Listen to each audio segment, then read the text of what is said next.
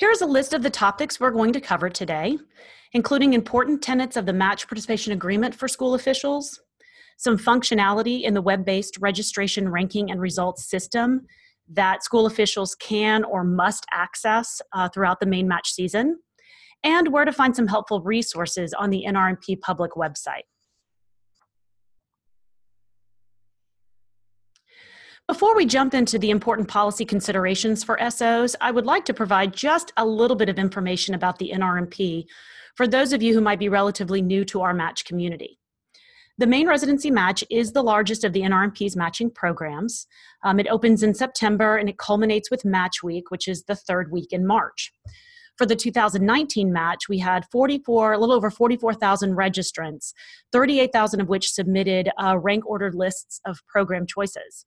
We had 5,600 programs that placed over 35,000 positions in the match.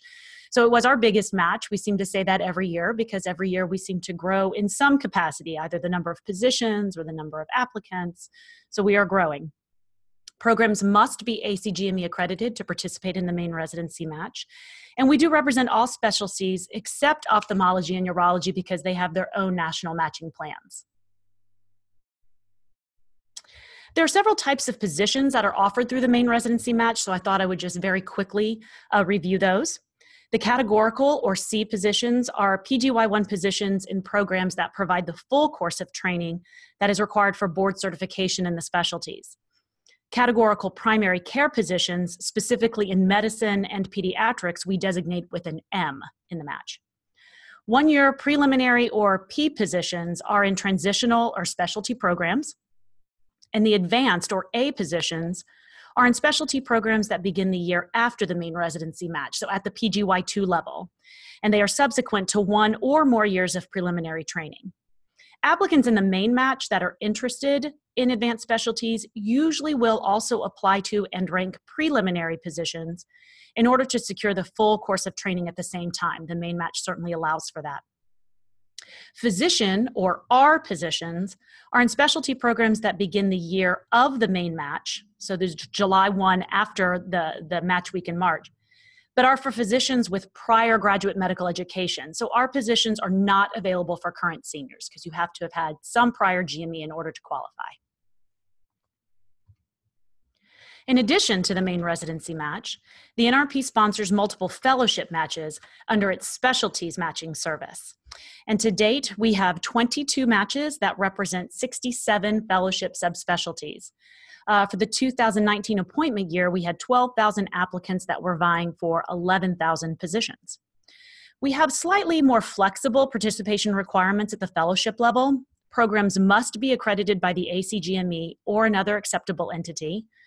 They can be affiliated with an ACGME accredited program in the core discipline, or they can lead to certification and have oversight from an ABMS board. So there's a little flexibility with respect to fellowship matches.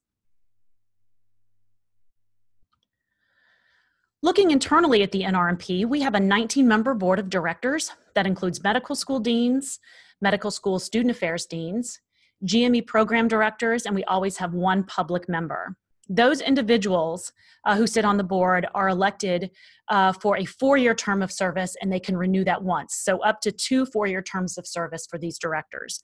We also have three resident physician or fellow directors and three medical student directors who, just by the nature of their training or their, their education, they serve one two year term of service.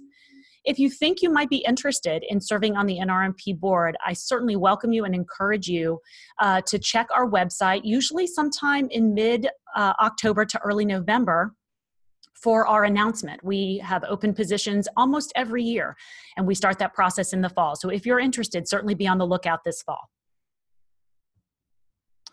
Lastly, this is a snapshot of the NRMP organization. We currently have 19 employees that work on finance, match operations, IT, policy, research, and communications. So that's just a little, little snapshot of what it's like here at our offices in Washington, D.C. Okay. Now that you know a bit more about the NRMP, why don't we move to a discussion of important policy considerations for osteopathic school officials? As most of you likely know, The match participation agreement outlines the policies and procedures and the rights and responsibilities of all participants in the matching program. Tenets of the match participation agreement that I think are of particular interest for medical school officials include sponsored applicants, what that means and what that involves for school officials, general insight and guidance on communications throughout the application, interview, and matching process, and certainly SOAP, all things related to SOAP, eligibility, verification, communications. So let's explore some policies on each of these topics. In light of the single accreditation system, the NRMP Board of Directors voted this past May to make osteopathic senior students sponsored applicants in the main residency match.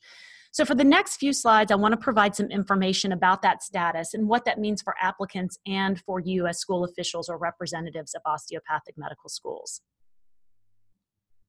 So, who is a sponsored applicant? A sponsored applicant is an applicant who is a student enrolled in a medical school accredited by the LCME or the Commission on Osteopathic College Accreditation at the time of registration for the match.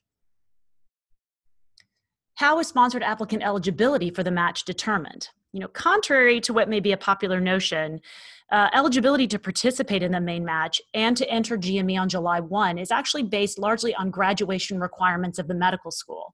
Certainly, the NRMP requires at at, at its foundation eligibility for GME on July 1. But grad, the medical schools may have additional graduation requirements um, that they use to consider those seniors that are eligible for match participation. So that's one reason why your role as the school official is so important to ensure that all the students who should be in the match are registered and to determine their eligibility based on what you know about the unique requirements of your particular school.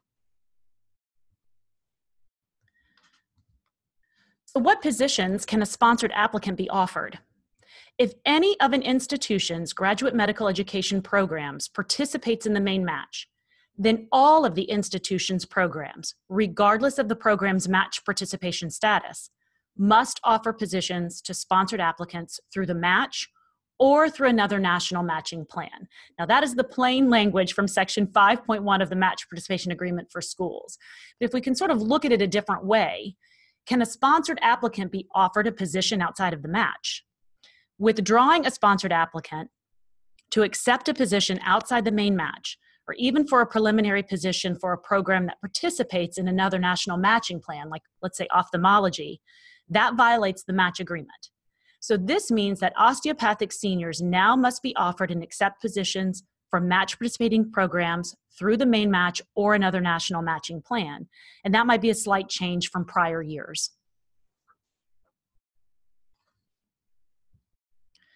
So, what is the school official's role with respect to sponsored applicants? School officials are expected to immediately revoke the school's sponsorship and withdraw prior to the rank order list certification deadline any sponsored applicant who is ineligible to enter GME on July 1 of the year of the match. This would mean that the applicant's rank order list would not be used when we process the matching algorithm, and the applicant would not be eligible to participate in SOAP during match week unless the applicant becomes eligible for graduate medical education by Wednesday prior to match week. And we're going to touch a little bit on that uh, a little bit later in this webinar. Can a sponsored applicant withdraw from the main match? A sponsored applicant may withdraw from the main match only through the applicant's medical school official and only for predetermined reasons. So, this is new for osteopathic uh, applicants or senior students and school officials this year. You will now have the responsibility of withdrawing senior students from the match. When osteopathic students and graduates were considered independent applicants under the match policy, they could log into the NRMP's registration ranking results system at any time prior to the rank order list deadline and withdraw themselves. That no longer will be the case for osteopathic seniors. As school officials, you will assume that role and responsibility. So, what options would exist for withdrawn sponsored applicants if that's in fact steps you will have to take this next year? Withdrawn sponsored applicants can submit applications to non match participating programs no earlier than 3 o'clock p.m. Eastern Time on Monday of Match Week, which is one of, I guess, sort of the official launch of the SOAP uh, experience. Uh, withdrawn sponsored applicants can accept a position outside of the match no earlier than 12 o'clock Eastern Time on Wednesday of match week. If the training will begin after July 1 and before February 1 in the year following the match. If withdrawn sponsored applicants elect to participate in the match the following year, we would consider them sponsored applicants. And so, again, all of these eligibility and withdrawal status criteria would apply. What about senior students with military appointments? School officials must withdraw by the rank order list certification deadline those students who receive positions in U.S. military GME programs. However, students are required to inform school officials of their military match status. This is actually a change from what has been a, sort of a long-standing practice with the NRMP. For the 2019 main residency match, the NRMP Board of Directors elected to um, update or revise the policy to require uh, students, senior students, to notify their school officials of their appointments through the military match so that their school officials could officially withdraw them from the main residency match. We had for many, many years worked directly with the military branch GME offices to identify those applicants that had been placed in civilian programs and to ensure that they were withdrawn from the main residency match before we processed the algorithm. But over the last few years, the data that we had received from the various military branches was spotty, it was inconsistent, and there was increased concern on the part of the NRMP that there might be some liability if the data that we received from the military branches wasn't as clear and as comprehensive as we needed it to be in order to make a determination about a student's eligibility for participation. So we changed the match participation agreement last year to require students to take on that responsibility and communicate in a timely manner with their school officials. So it is your responsibility to withdraw those students if they accept or are placed into positions through the military match, but it is something that they are obligated under the match participation agreement to notify you of. And that is certainly an education piece that we work on with applicants throughout the fall. So to recap, beginning with the 2020 main residency match, osteopathic senior students will be designated as sponsored applicants. And that means that they must accept positions through the NRMP or another national matching plan. They cannot withdraw themselves, nor can they be withdrawn for non match positions. And school officials must assume responsibility for withdrawing students by the rank order list deadline and only for pre approved reasons. So we will touch a little bit more on, on where to find that information and to sort of have some guidance and some resources on how that process works, we will touch on a little bit later in this webinar. What other policies might be important for school officials to know? And some of this is just review, but I thought it might be good to touch on. The NRMP board routinely reviews our policies regarding communication, so I wanted just to highlight a few obligations for school officials.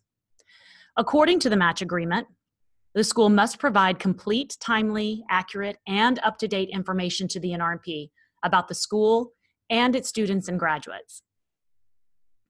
Um, so, according to the match agreement, school must provide um, information that's complete, timely, and accurate, especially with respect to the medical school performance evaluation or the dean's letter.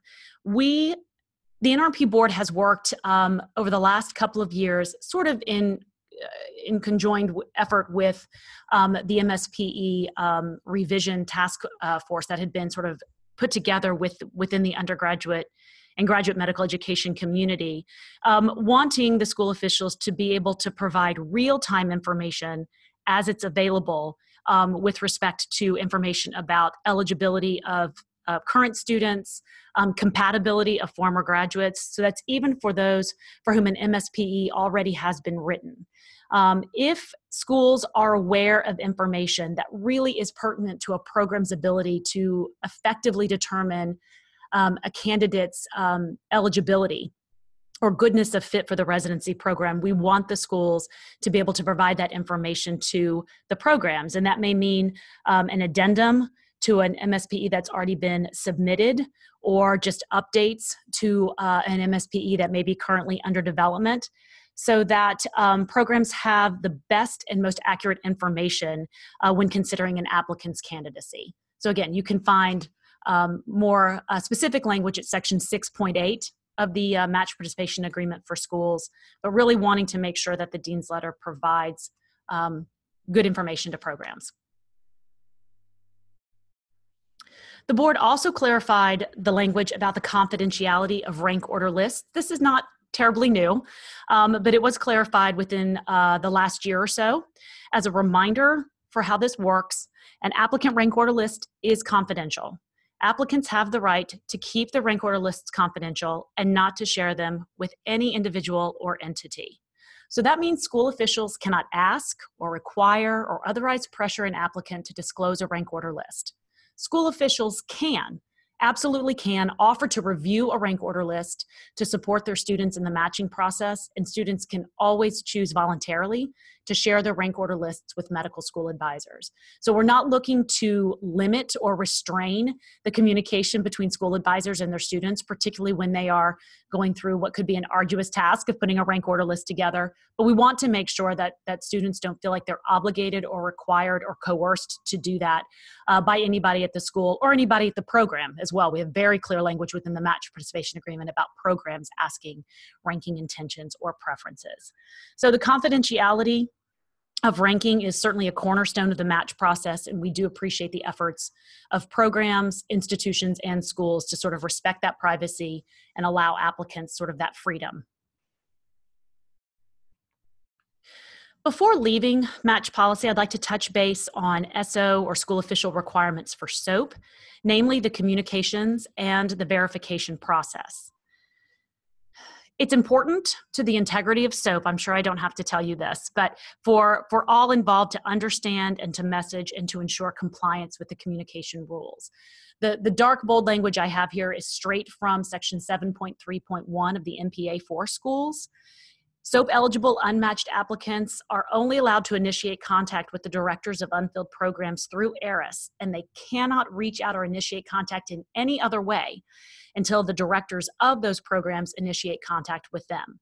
In essence, the same rule applies for any individuals or entities that are acting on behalf of an unmatched applicant. They are not allowed to initiate contact until the directors of unfilled programs initiate contact, and that's regardless of the initiator's role at an institution or school.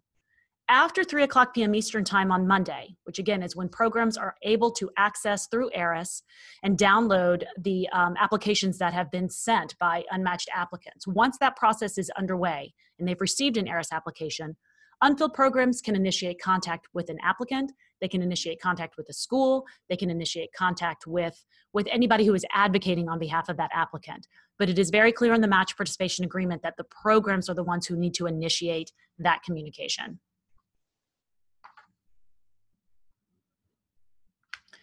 Let's return just briefly to section 2.2.5 of the match agreement for schools so we can look a little bit more closely at the school official requirements for SOAP verification. Again, the plain language in the match agreement says or reads that if a medical school revokes its sponsorship of and withdraws from the match a sponsored senior student because the student is ineligible to enter GME on July 1, then the student's rank order list shall not be used when the matching algorithm is processed, and the student will not be eligible to participate in SOAP unless by 5 o'clock p.m. Eastern Time on the Wednesday prior to match week, the student becomes eligible to enter GME on July 1.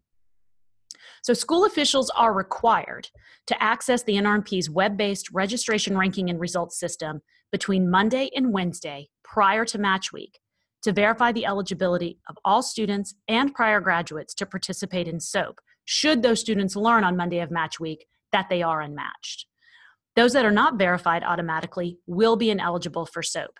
And so now, as we turn to more of a discussion of school official responsibilities within the R3 system, we can examine this process a bit more uh, in depthly because I know that this is an area of concern for a lot of the schools out there. So in this next section, we will explore some, some basic functionality within the R3 system that is specific to the school official role. Some of this will be new, but I think most of it will be a review for those of you who've been with the NRMP for at least a few years um, and just features that are designed to assist school officials in managing the match cycle. So some is new, but some is also just um, a review. Under the terms of the match agreement, the SO or the school official, school administrators, are responsible for overseeing the match process and to serve as the official spokesperson to the NRMP. So, to ensure sponsored applicants complete the registration process and that they execute the match participation agreement and they pay their fees, the school officials and administrators can upload into the R3 system a list of the school's sponsored applicants. They manage the student and graduate participation in the match, and they verify eligibility of sponsored applicants to enter GME, both at the algorithm phase and for SOAP, and to verify the graduation of their prior graduates. So these are the functionalities that we're going to look at um, within the R3 system and give a little bit of context for each.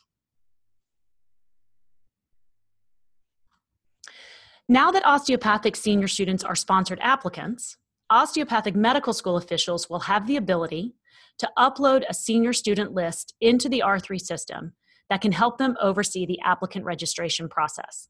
So, what SOs are able to do is to create what we call a tab delimited text file on their computer. They can upload it, and once that upload is complete in the R3 system, the school officials are able to see who still needs to register for the match they can edit a student's participation status. They can even add students to the list. This functionality in the R3 system, I think, is a great resource for school officials. It is not required. School officials do not have to upload the list. But if they do, the R3 system compares the applicants or the students who are registered um, to the uploaded list and it removes applicants as they complete that registration process. So it becomes a great resource for school officials to be able to track their students and to be able to give a gentle nudge to those students um, who still need to complete the registration process. If by the end of the registration process, which would be the same date as the rank order list certification deadline, hopefully this list would be zeroed out. What I've included here, and hopefully will be active when we post the PowerPoint presentation to um, our public website, is a link to a support guide that we have uh, on the NRMP website that would provide step by step instructions for how to complete this task. If you're interested in how it would look, I provided a few um, screenshots here of the R3 system. Again, after creating the tab delimited file, the student can, uh, the, the school official, my apologies, can log into the system and click on the upload student list link, which you can see right here in the red triangle. If the upload is successful, then it will say in the top left corner um, that the upload was successful, and you can see that with the red triangle. All students uploaded into the R3 system are by default considered participating because you put this list together for the upload. But participation status can be changed by the school official, and you can see that with the red arrow in that right column. School officials can also make edits um, to the student's information by clicking the View and the Edit List link at the bottom of the screen. Again, the system keeps track of, of the, those students that have registered and will keep the list current by removing those applicants. And again, you sort of want to be able to see this list zero out by the time the registration process has concluded.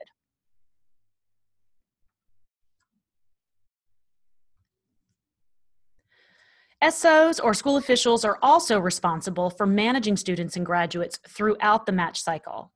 And by accessing the students and graduates page, the school official can monitor applicants, both current students and graduates who have registered for the match, so you can see sort of who's completed the process. You can withdraw and reinstate sponsored applicants, and again, that will going forward include allopathic and osteopathic seniors and be able to edit and update application graduation applicant graduation dates should those change over the course of the uh, ms4 year. Again here is the link to the support guide that would provide step-by-step instructions and i will show you here in just a few minutes where to find that exactly on our website. Here are a couple of screenshots that would show you how to find this directly within the r3 system. After you log in you could go to school at the top of the screen, you can see with the red arrow here, and click on students and graduates. The page that you see, and I, I didn't include that, that the content here just because I think it would have been a little bit dense, but when you, when you click on students and graduates, you're taken to a page that will show you in plain language um, how many students are in active status for the match and how many are in initial status. So, active status for NRMP means those applicants who have registered, they've signed the match participation agreement, they've paid their registration fee, they're good to go. Applicants who are in initial status may have started the registration process but have not yet completed it. So, that data would be available to you.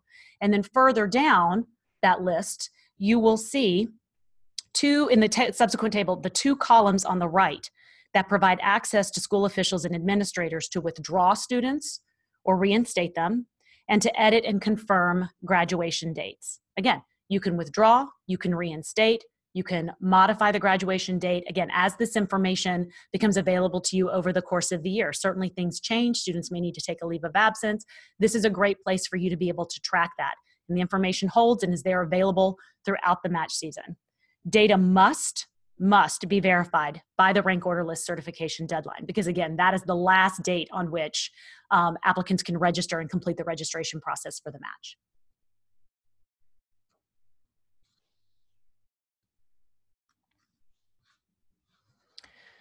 For verification, school officials actually have to complete two steps. One is for match participation, and the other is for SOAP participation. So remember, only students and graduates who are eligible to enter GME on July 1 in the year of the match can participate in the match.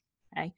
Graduation credentials for match participation, so to be able to have the rank order list included and processed when we, when we run the um, matching algorithm, must be completed prior to or on the rank order list certification deadline. SOAP verification is actually completed the week prior to match week. Only applicants for whom it is determined conclusively that they are ineligible for GME should be prohibited from participating in SOAP. So let's talk a little bit more about that because we certainly see on, on this end that schools are a little anxious and sometimes maybe get confused about how to determine eligibility for SOAP we will see that school officials sometimes mark ineligible for SOAP those students who they know have yet to meet graduation requirements. But what we do, and one of the reasons we add this, added this language in red about determining conclusively, what we want you to do is to only mark as SOAP ineligible students that you know conclusively their graduation requirements will not be met on time. So, a good example that we hear from with school officials are outstanding test scores. Maybe you have senior students who don't have test scores back yet, or maybe you have students who took the test, failed um, a step of it or, or, or a part of it, and are waiting to sign up to retake the exam. We would want you to leave in the match those students if there is a chance that their scores will be reported prior to graduation, that they could retake the exam and get their score results back prior to graduation.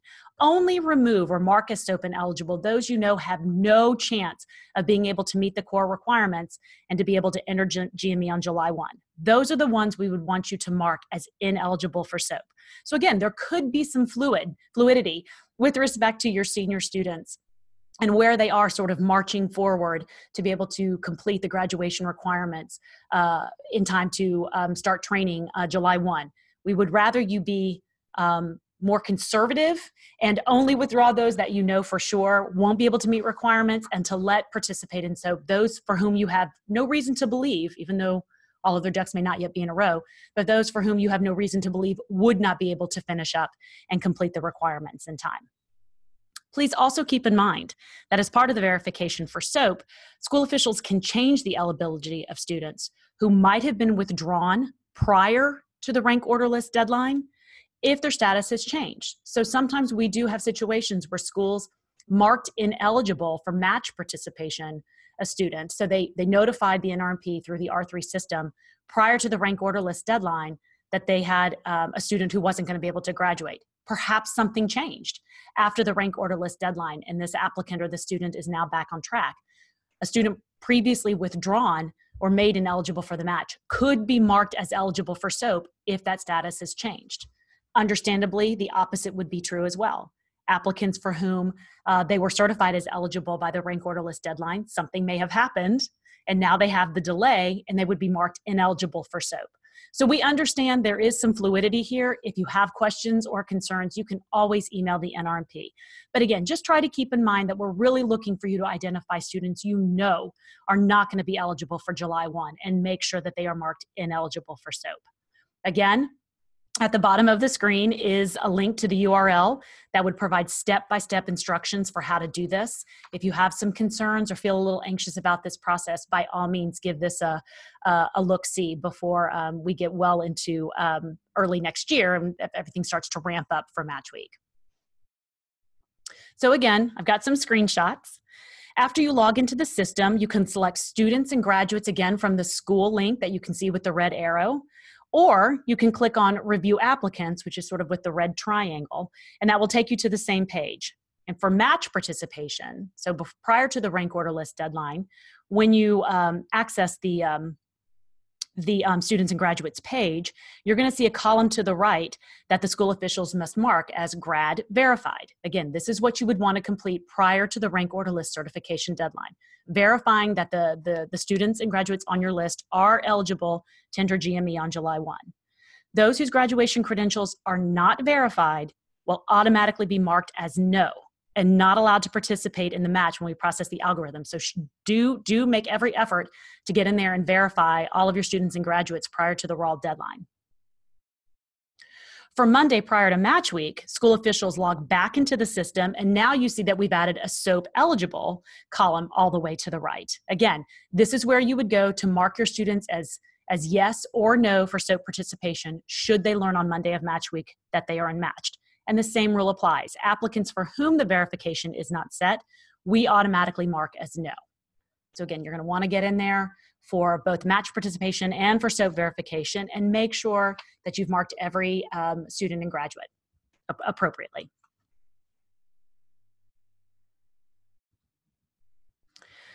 So I have a couple of slides here because I want to make sure you know what's available to you as, as a school official or administrator, what, what system reports the NRMP will create for you um, over the course of the match cycle. So you can see from this slide, we have uh, reports that cover a variety of topics and um, we identify when those reports become available over the course of the match season. Um, I want to take a look at some available uh, reports that are at specific times within the match cycle. So the R3 system makes about a dozen reports available for what we would call sort of the matching process phase of the uh, match cycle. I would say of particular note here is the characteristics of matched seniors report that's listed at the very top. This report benchmarks each of the school's graduating class against national norms. We provide this report to the schools that support our efforts to collect accurate applicant um, USMLE and COMLEX data, strictly for the purposes of publishing research like charting outcomes in the match. We don't do anything with the scores other than to make sure we can create an applicant uh, an accurate profile of applicants who match to their preferred specialty which is really the thrust of charting outcomes in the match um, also of note, I think, is the institution and program violations report that's listed at the very bottom. This report identifies institutions and programs that have confirmed violations of the match agreement, what the nature of the violation was, and what sanctions were levied, if any.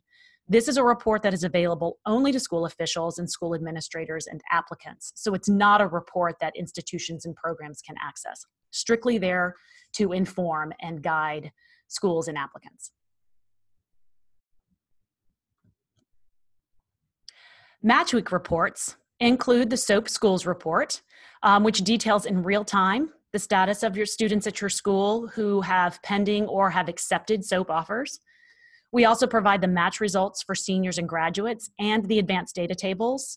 Um, and we give those to the school officials or we provide access to the school officials and the administrators prior to the official release of match results, um, which come out at 1 o'clock p.m. Eastern Time on Friday of match week. So we just, we provide them. We know it's helpful information. Certainly, uh, these reports can be um, extremely helpful in preparing for match day ceremonies.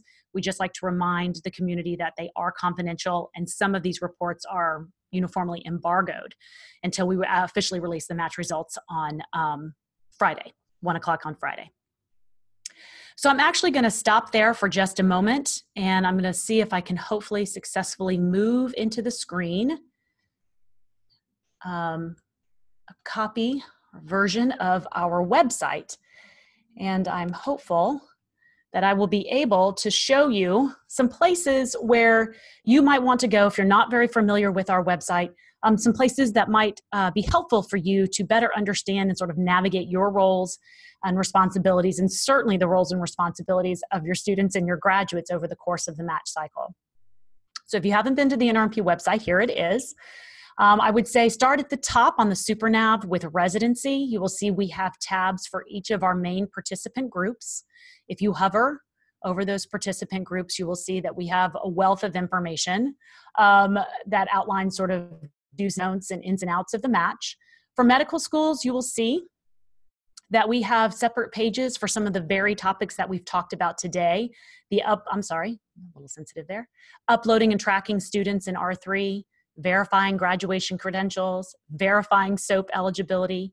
So I know I've touched very briefly and somewhat quickly on these topics today, but these pages will provide you with some excellent information when you're ready to sort of take a deep breath and maybe move a little slower through how these processes work. I will say we have a checklist um, that we've just updated. We're in the process of, of, finalizing these updates that really lays out sort of a step by step what you're going to want to make sure you do for each phase of the um, the match cycle. So we have it broken down by registration, we have it broken down by ranking, and we have it broken down by results. So again, this might be something that's helpful to print and actually physically put your check marks on as you move through the match cycle. Sort of provides a bit of a timeline. But I really want to make sure that you're aware of a page all the way down at the bottom under medical schools called support. If you click on support, you will see that we have listed, we have created some match topic videos and what we call our R3 support guides that really do break down into very fine detail all of the various or discrete components of the match cycle that school officials would need some assistance or have some questions about. So again, these are the URLs that I provided on the PowerPoint. If you come to uh, schools and support. You will you can access any of these, and they provide screenshots and literally step by step instructions on how to add and maintain school administrators, manage your students and, and graduates, use the program directory if you need to help your applicants figure out how to list a program on a ROL. Our match topic videos are purposely designed to be fairly short. We try to keep them to about five or six minutes. Again, that's probably going to be uh, more helpful um, to be able to sort of chunk the information and give you something that's very uh, focused and very specific on a topic. But if you've got some questions about how this process works, I strongly encourage you to start here. If you do not see on the support page answers to your questions, then by all means you can reach out to the NRMP at any time. Um, if it's not built, we'll build it for you, um, but maybe we'll be able to help you find where on the website that information would be. So again, residency, medical schools, and then all the way down to support. Briefly, I want to show you too our data and reports. If you click on residency for data and reports, that's where you will be able to find the most current versions of our results and data book and all of the various sort of compendium reports that go with the results and data. The most current versions of charting outcomes in the match. That is a publication we do every other year. So we will be due to update charting outcomes after the 2020 match. And then our survey reports. We every other year either survey program directors or applicants to get their perspectives on how they uh, put together interview strategies and ranking preferences. But if you are interested in old versions of the results and data, we have those available as well. Under data and reports, simply click on report archives and you will see we have all of the results and data, charting outcomes. I don't want to scroll too fast. Charting outcomes in the match, the surveys are down at the bottom, and they go back for pretty much as long as we've been able to have um, a web based interface. You can see with results and data, it goes back to 1984, even though we actually became fully web operational uh, in early 2000s. So um, there you have it for results and data. All of it's free. You can download it at any time. We do try to keep this current as soon as reports are ready and ready to be published. We get them up on the website. And the last area I'm going to show you is the policies. If you are interested in current copies of our match participation agreements and resources, you can go to policies. It's the first link. This provides, we keep current copies of the match agreements for institutions, for medical schools, for applicants, our specialties. Um, our waiver policy, violations policies are here as well. I didn't want to take time today to get into too much of the, the, the, the waiver and violations um, processes. If you have questions, I'm happy to talk with you about those at any time, but really just wanted to focus more on sort of the core requirements for school officials. I would like one final note to pull your attention to the resources at the bottom of this page. You will see an entry for medical schools. If you go to the match agreements page and you click on medical schools under resources, you will see here that we've provided the code of conduct, some policy highlights that are very specific to schools. We update that every year. And we have what we call waiver case summaries and violation case summaries, which provide some illustrative vignettes on the types of cases that come before the NRMP and how those cases might be adjudicated. Again, it's not comprehensive or exhaustive, but it does give schools and applicants and programs sort of a flavor of what the NRMP is looking at when we're when we're investigating waivers or investigations and how those cases might move forward. So again, that information is there for you should you like it. Um, and um, just provides a little more insight into um, the policy process, uh, the policies and procedures process for binding commitments. Okay, so that's what we have for our website. I'm going to close this back out. And just a couple of slides in closing. I want to make sure everybody is aware that we have our Transition to Residency Conference that is coming up this fall, um, October. We have some fantastic uh, speakers that are lined up for this year's conference, including Dr. Ezekiel Emanuel, Dr. Helen Fisher, and Dr. Lawrence Smith.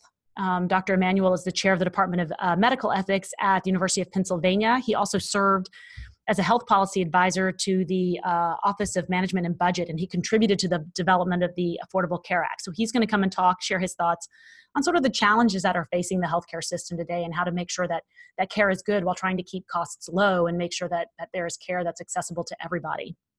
So I think he'll have some interesting perspectives. We also have Dr. Helen Fisher. She is the Chief Scientific Officer at Match.com. You may chuckle to, to know that we not infrequently get calls for Match.com, even though we are the match and we are not in the business of matchmaking in that way. Um, but the Chief Scientific Advisor is going to come and talk with us about her Fisher Temperament Inventory um, it's designed to help people understand sort of their biological styles of thinking and behaving so they have a better understanding of themselves and how they can contribute more effectively to teams and build innovation. And Dr. Fisher has agreed to stay on and facilitate a breakout session or two so that attendees to the conference can sign up and take her temperament inventory and then sort of talk as a group about what those results and findings look like. So I'm hoping that people find that of interest. And then our uh, conference will close with Dr. Lawrence Smith, who is the Dean of the Zucker School of Medicine at Hofstra Northwell. And he's going to address the importance of teaching medical students how to provide compassionate care across the lifespan. I think a nice way to sort of end and, and remind us of just the incredible value that, that physicians bring to our world in dealing not only with patients, but their loved ones as well. The deadline for our breakout session proposal submission is actually just a couple of weeks. It's June 28th. So if you're interested, you think you might want to come to the conference, you might want to present on something, Please access our conference website, which you can see at the bottom of the screen, and submit your idea.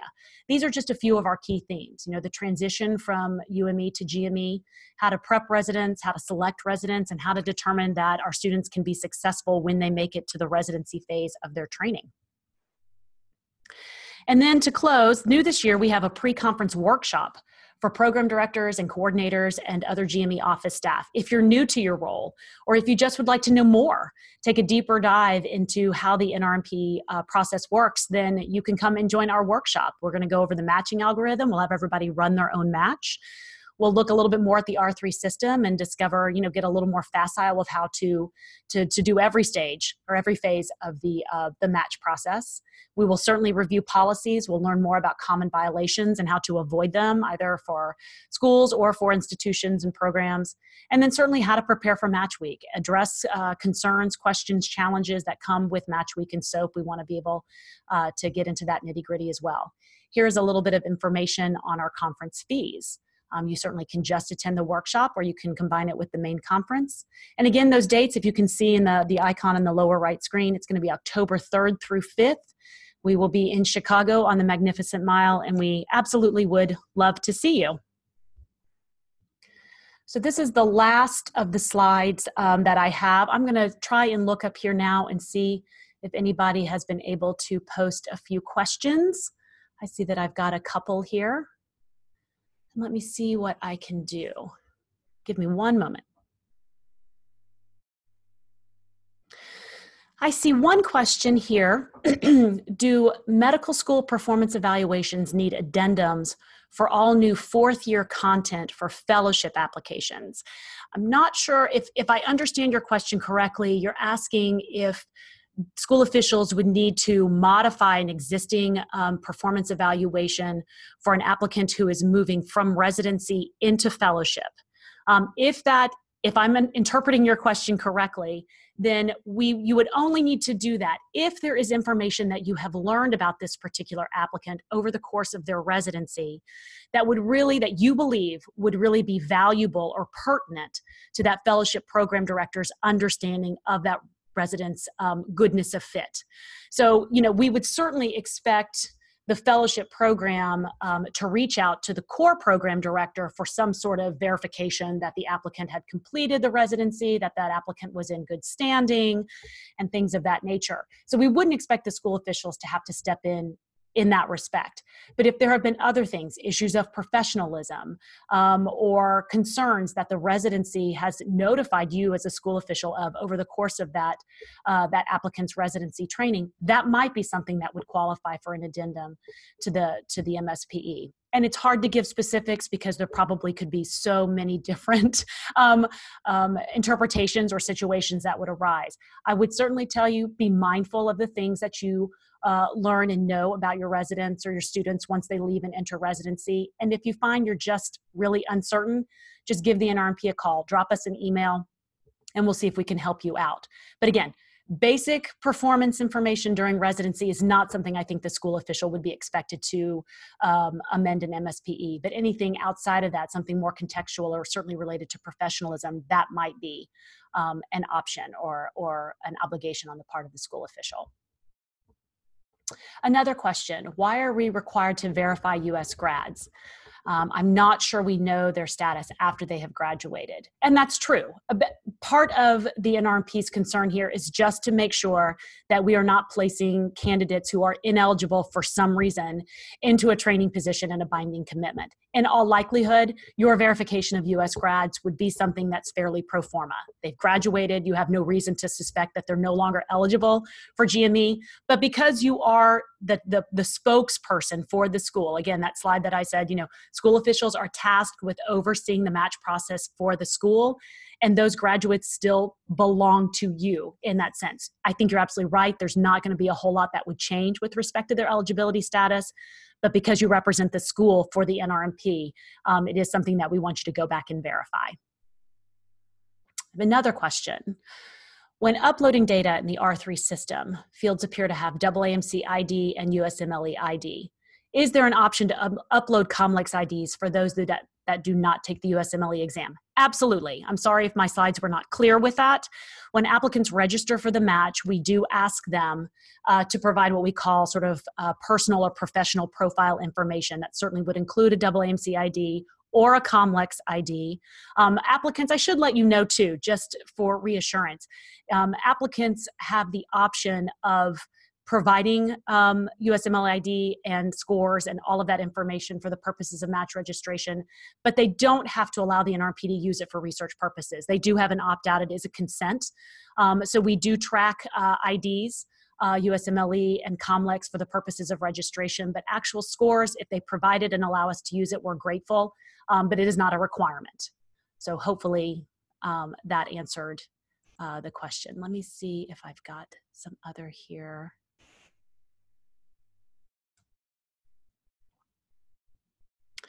If we have a student who has not passed their boards by the rank order list deadline, but will be taking it before match week, do we leave them as match eligible or withdraw them? I would say at this point, you would if if requirement for boards, I'm sorry, let me let me rephrase. If passing the boards is a requirement for graduation, then yes, you would want to leave them in the match because they still may be on track to complete that requirement and then graduate and thus be eligible for GME on July 1. We would only want you to withdraw those that you know definitively will not meet graduation requirements, will not be eligible for GME. So I would assume it's possible for your students not to have have completed all those necessary steps earlier on i would say earlier on in the um, the fourth year if they're on track to to complete whatever the graduation requirements are for the school in time to enter gme then you would want to leave them as match eligible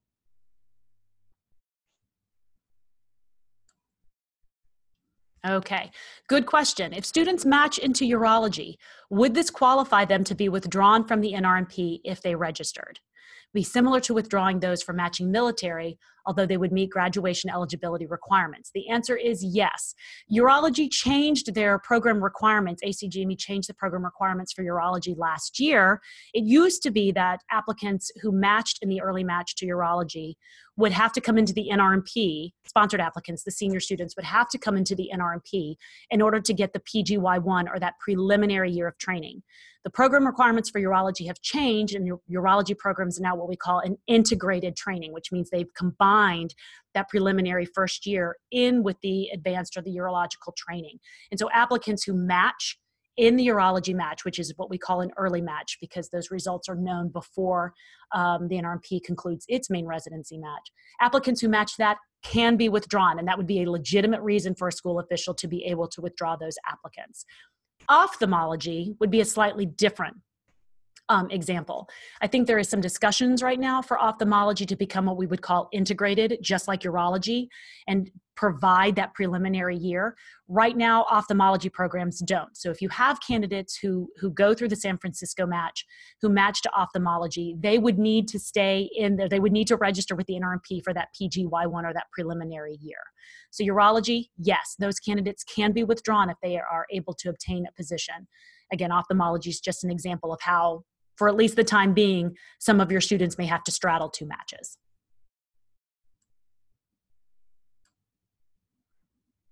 Again, I had another question about leaving applicants in without having passed boards. We know that this is this is a real anxiety point for schools, and so I appreciate your questions. If your students are on track to graduate in time, even though they don't have their boards by the time of the ROL deadline, um, or SOAP, or SOAP, but you anticipate that they would have those boards passed, they would have those scores in hand and be able to walk across the stage at commencement, by all means leave them in the match. If you learn after match week, if you have candidates who have matched to positions and you get back board scores and they pass uh, board scores and they have not passed, then what we would ask you to do is to immediately notify the NRMP. So we can begin the process of, of reaching out to the program and deciding what's going to be the best course of action. It could very well be that a waiver of the match commitment would be needed. So again, if you learn after match week that something has happened, an applicant's eligibility or, or ability to, to graduate in time to start GME on July 1 is now in question, just give us a call. We'll reach out to the program and we'll begin that conversation. But if you have every expectation that they're marching along towards the requirements, you can leave them in the match. So here's a question about sponsored applicants accepting positions in the NRMP or another national match. What other matches do you consider? San Francisco match, the American Urological Association. Um, here's one, it's called SAP, which is preventive medicine. I'm not familiar with that match, but I certainly can look into it. But yes, what we are considering other national matching plans would be things like San Francisco or the American Urological Association. Specialties that have their own matching systems are, be, are ones that we would consider other plans. And again, we have the sort of the rules and criteria for that. So long as sponsored applicants are in the NRMP or another national matching plan, everybody is, is doing fine. If a DO student takes both COMLEX and USMLE, are both scores required to be reported or just the COMLEX? Quite frankly, that's up to the student. Again, when they when students register for the match, they have what we call our professional profile section. We have a place for them to enter those scores. It's up to them. Um, we would like for, for students to enter at least one set of scores, but if they want to put in USMLE or COMLEX, or both, that really is their choice. And we would certainly uh, respect that and then provide that information out when it came time way later in the match season for the schools to verify that information. So it really, really would be up to them.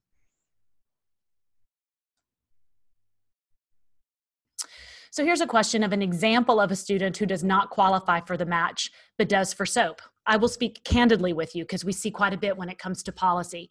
Sometimes we have schools who have reported professionalism issues with a fourth year student, and that fourth year student has been dismissed from school, has been dismissed from, from the, the program.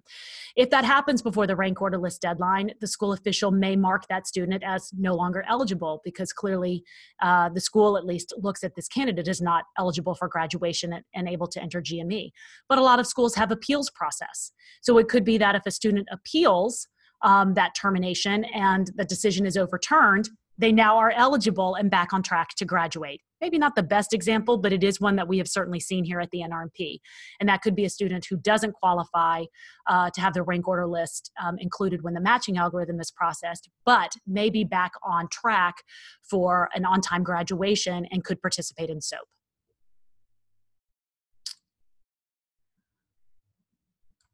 Again, would an ophthalmology student need to register for the San Francisco match and the NRMP match in the same match season? They would.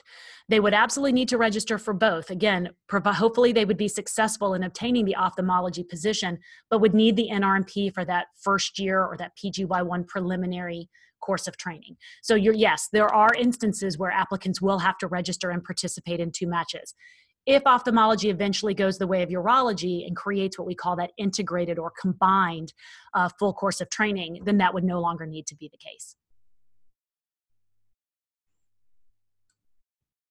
Ah, I see somebody provided me the link for SAP, the Preventive Medicine Match. Thank you very much. I will absolutely look into that um, and see if we need to include that information somewhere on our website.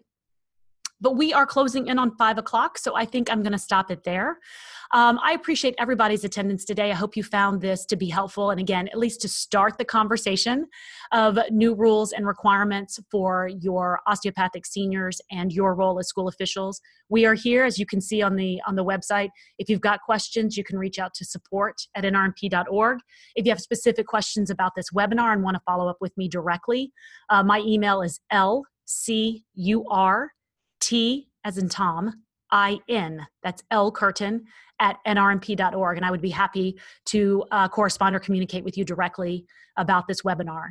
We will make sure by uh, close of business on Thursday to have the webinar up on our website. I will take all of these questions and I will write them out and provide written responses and post that as well. Um, and should other questions come up before we get started uh, in September, by all means reach out to us. But I definitely appreciate your attendance today and I look forward to working with you this next year.